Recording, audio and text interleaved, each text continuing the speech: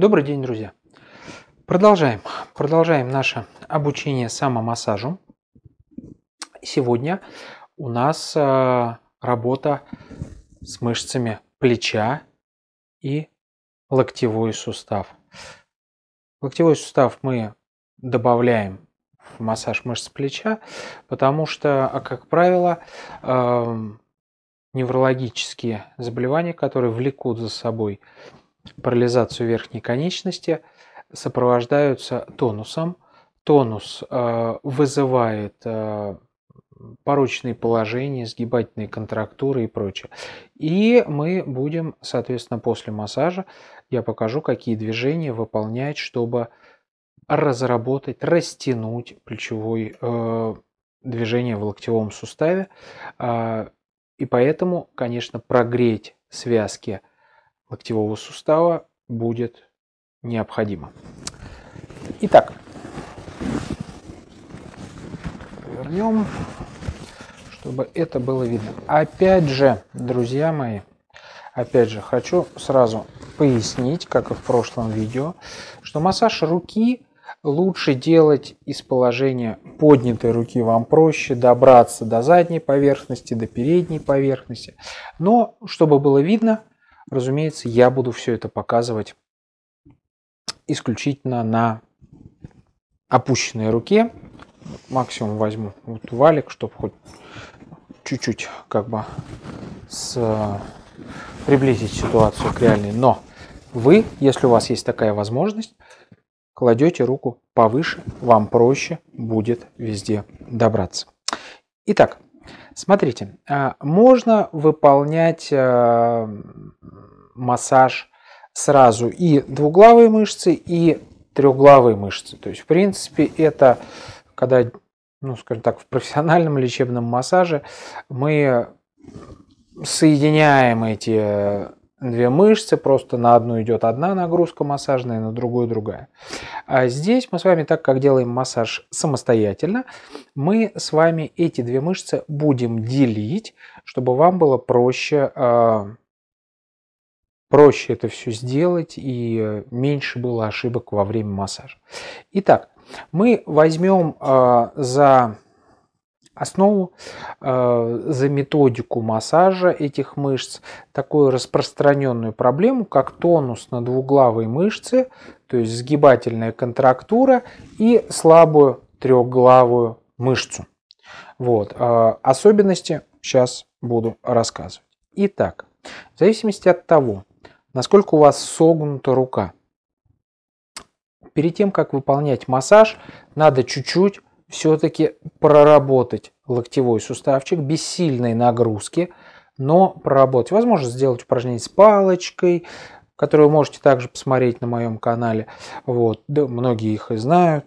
Вот, проработать, поразгибать для того, чтобы вы могли руку положить в более-менее развернутом положении, чтобы вам можно было добраться до бицепса, до двуглавой мышцы плеча.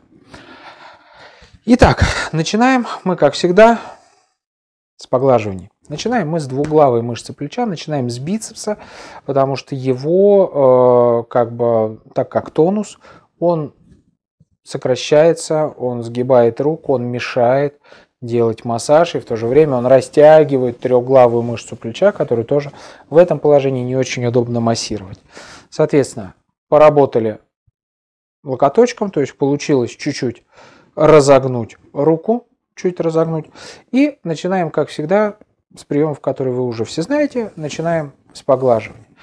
Здесь мы работаем снизу вверх, снизу вверх. Погладили, погладили. Я иногда буду разворачивать руку, чтобы было виднее. То есть у вас рука лежит в одном положении, крутить ее не надо, я буду чуть-чуть поворачивать, чтобы это было виднее на камеру. То есть погладили, погладили снизу вверх. Дальше мы делаем, ну, как я их уже называл, более такими глубокими поглаживаниями или же выжимание. То есть мы гоним кровь выше лежащий участок, который мы, кстати, перед этим отмассировали. То есть это было в прошлом видео. Мы его отмассировали, мы его опорожнили, то есть у нас сосудики там готовы к приему большей крови, большего количества крови. Соответственно, мы уже в опорожненные сосуды, в дренированные сосуды начинаем сгонять кровь из ниже лежащего участка. Небольшая ремарка. По внутренней части плеча там лоцируется и проходит нерв.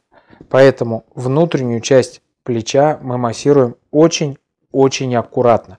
То есть не надо туда пальцем забираться очень глубоко. То есть мы глубоко работаем поверхностную мышцу.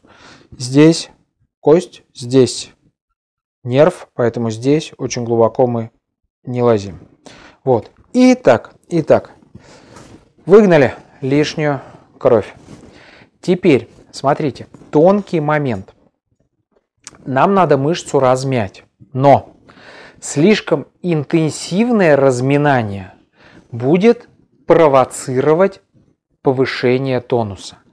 Поэтому мы мышцу скручиваем и смещаем медленно, медленно, не настойчиво, чтобы не провоцировать тонус. Можно поработать, как я уже говорил, костяшками пальцев. Имейте в виду, у нас две головки мышцы, поэтому она и называется двуглавая. Поэтому мы прорабатываем и одну сторону, и вторую сторону. То есть прям вот по двум линиям ходим. Можно четырьмя пальцами подушечками здесь поразминать ее. Но мышца анатомически крупная. Можно сказать так, мышца жирная. Поэтому мы ее можем похватать. Мы ее можем поскручивать. То есть придать ей определенный процент эластичности, восстановить эластичность мышц. То есть взяли прям вот в охапку ее и отделяем от кости, приподнимаем ее. В это же время поворачиваем руку, то есть когда хват мышцы есть, мы ее руку крутим, руку поворачиваем, чтобы повыжимать, покрутить, поскручивать мышцу. Но медленно, очень медленно, чтобы не провоцировать тонус. Снизу вверх мы мышцу разминаем.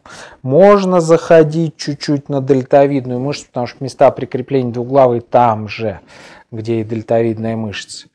То есть поскручивали мышцу, поразминали пальцами. Дальше мы ее должны погреть. Как мы уже с вами договаривались, что растирание может идти и вверх, и вниз. То есть наша задача создать максимум трения, выделить максимум тепла на мышцы. А как вы знаете, при воздействии тепла мышца расслабляется. Весь мир придумал бани, сауны, хамамы и прочее для того, чтобы согреться чтобы расслабиться. Чтобы рас... Погрели, потерли. Опять можно повыжимать ее. Опять можно ее поразминать. Поразминать, поскручивать. И опять можно ее чуть-чуть потереть и потом погладили. Погладили, чтобы успокоить рецепторы. Легонечко доставили себе удовольствие. Далее, трехглавая мышца, задняя поверхность плеча. Наверное, буду садиться боком, чтобы было видно. Здесь те же условия. Значит, в первую очередь надо руку также постараться все-таки чуть-чуть разогнуть. Но в вашем случае это будет вот так. То есть вам проще будет добраться. Вот, я руку положу. И начинаем опять же снизу вверх. Начинаем с поглаживаний. С поглаживаний. Гладить можно везде, и внутреннюю часть плеча, и наружную часть плеча, и верх, и низ, то есть гладить как угодно. Когда вы будете делать массаж, вы уже прочувствуете, где находятся все мышцы, все их головки, все их брюшко. Вот. И вам уже будет проще ориентироваться как бы на конечность. Далее мы повыжимали более плотно, прижимаем руку и гоним кровь вверх.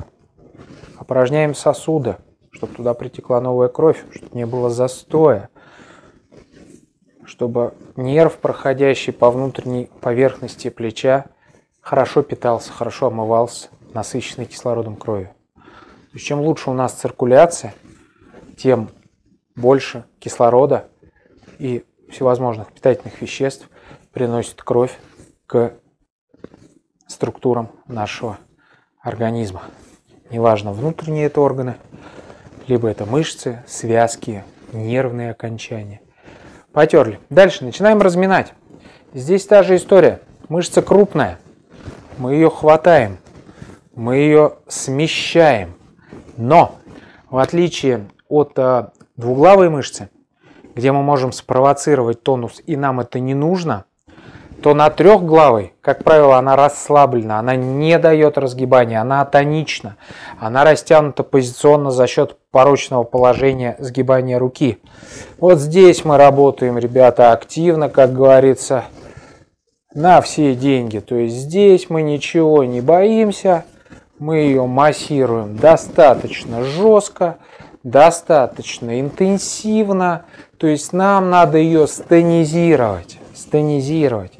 Причем здесь мы можем добавить ударный прием, мы можем ее похлопать, мы можем ее постучать, чтобы она при каждом ударе сокращалась, чтобы нервные окончания работали, чтобы они включили в работу все три головки этой мышцы, которая разгибает нашу руку, разгибает наш локоть. Проработали, промяли четырьмя пальцами, всей рукой. То есть чем? Ну, без синяков, друзья мои, без члена вредительства, пожалуйста. Не надо нам травм и гематом. Далее опять повыжимали. Повыжимали. Потом растерли как следует. Потерли. Тереть тоже можно, собственно, отовсюду подбираться. Опять поразминали. Опять повыжимали. То есть можно ходить несколькими кругами по руке. Еще постучали. Все, погладили, погладили. Мышца стонизирована, мышца отмассирована, кожа покраснела. Вот. Когда мы отработали двуглавую и трехглавую мышцу, самое время схватиться за локоть. Что касается локтя, вот здесь я вот так руку разверну, чтобы вам было видно, то мы никогда, я повторюсь, я говорил в предыдущих видео по массажу, никогда у нас не массируется зона скопления лимфатических узлов, то есть локтевые изгибы, подколенные изгибы, места расположения лимфатических узлов на шее, под мышками. Не массируем. Друзья мои, обходим абсолютное противопоказание. Во всех школах массажа на самом деле оно есть. Поэтому что нам остается массировать? Остается массировать боковые части сустава, чуть-чуть с заходом на вот эти все ямки и места прикрепления трехглавой и двуглавой мышцы. То есть саму вот эту часть локтевого сгиба мы обходим. Но рядом с ним, вот здесь, где сухожилие двуглавой мышцы, где сухожилие трехглавой мышцы, мы можем спокойно поработать, мы можем помять. И здесь э, из приемов у нас, в принципе, то же самое. Те же легкие поглаживания. Прям щипчиками ручку берем. Но если мы, когда массируем крупную мышцу, мы наоборот прилепляем руку к ней, чтобы вся мышца лежала на ладони, то здесь наоборот, нам надо только вот этими поверхностями боковыми работать, чтобы здесь ничего у нас не было. Прям щипцами гладим, растираем как следует. Нам надо повысить температуру в области локтевого сустава. Аккуратно, пожалуйста, внутренние мыщелки – ямка. Также выход нерва. Вот когда локтем ударяешься, как током стреляет. Вот здесь оно. Вот здесь это неприятное место.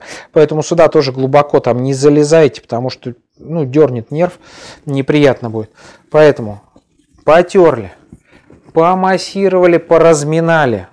Прям спиралевидными круговыми движениями с двух сторон.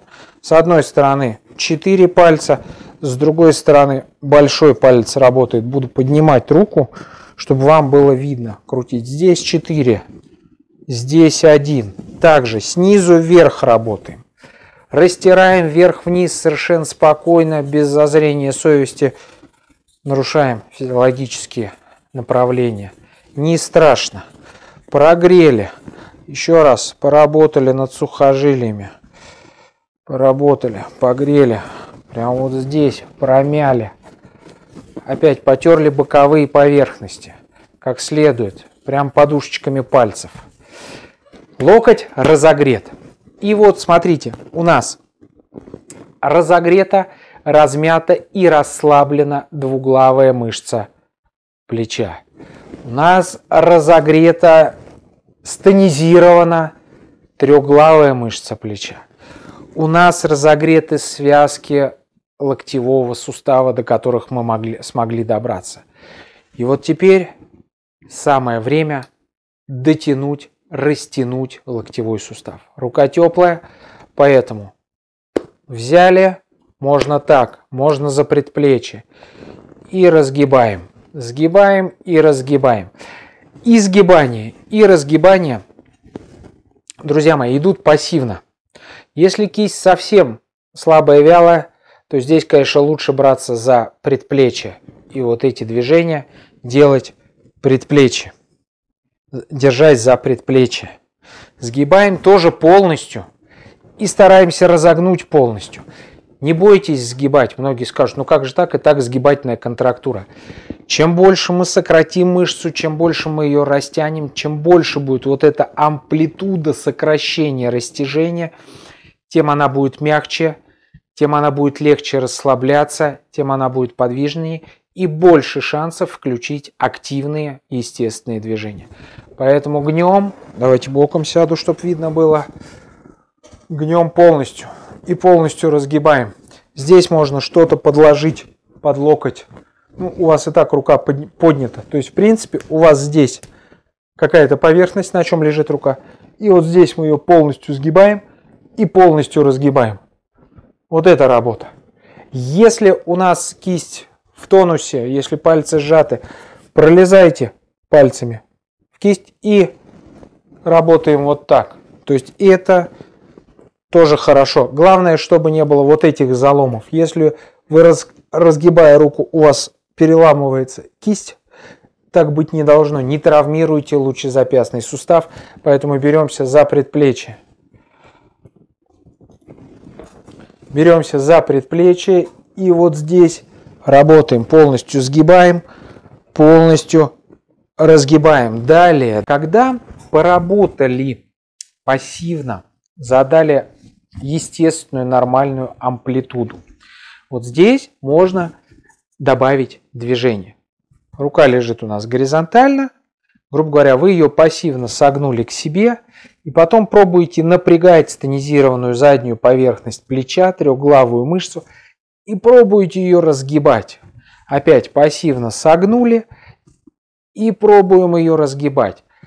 Идет медленно, идет не с полной амплитудой, значит разогнули насколько получилось, дальше помогли рукой. Опять пассивно согнули, разогнули насколько получилось, дальше помогаем рукой.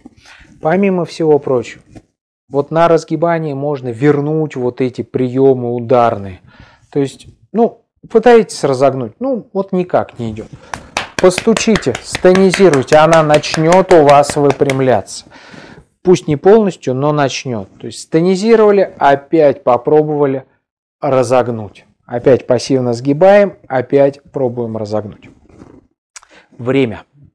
По времени у вас на каждый э, участок, который мы с вами проходим, учимся массировать, будет уходить 5-7 минут.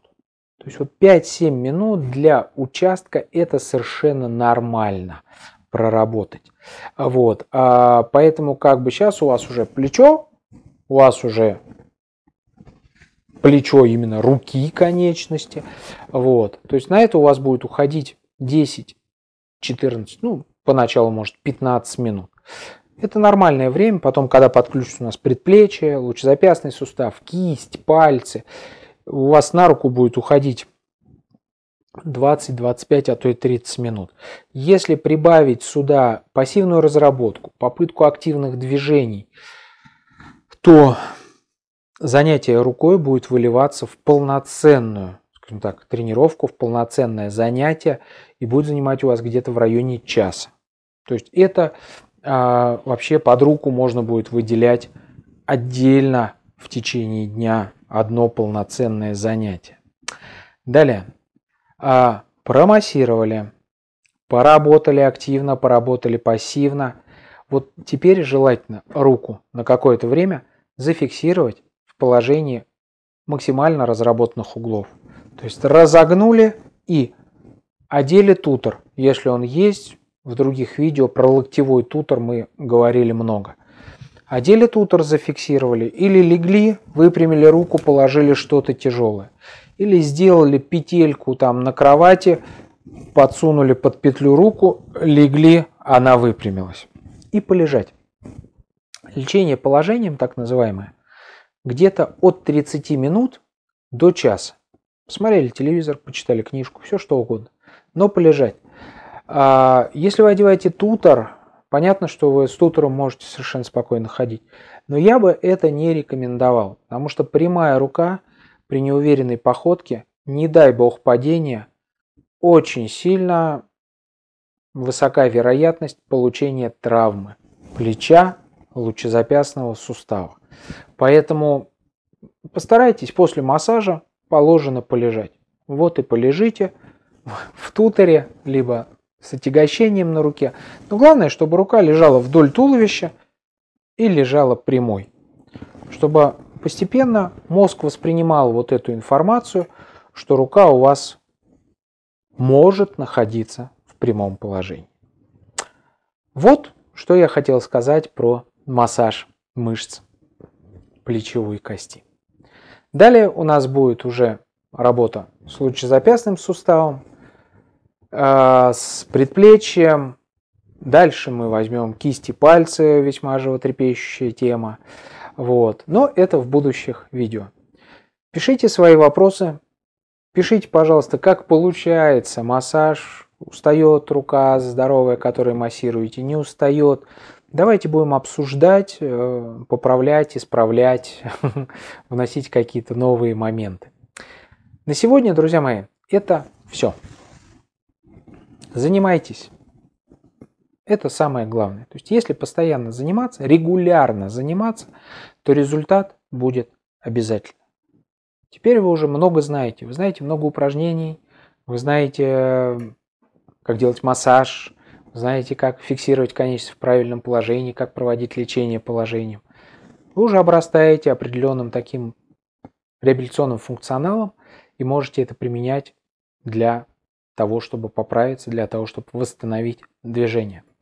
Поэтому удачи вам, занимайтесь. На сегодня это все. Всего доброго и будьте здоровы.